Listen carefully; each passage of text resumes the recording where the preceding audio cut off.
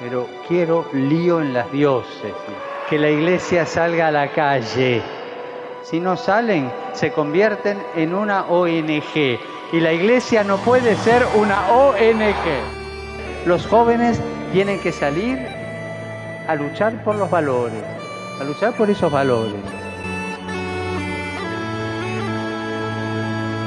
Y los viejos abran la boca, los ancianos abran la boca y enséñennos, transmítanos la sabiduría de los pueblos.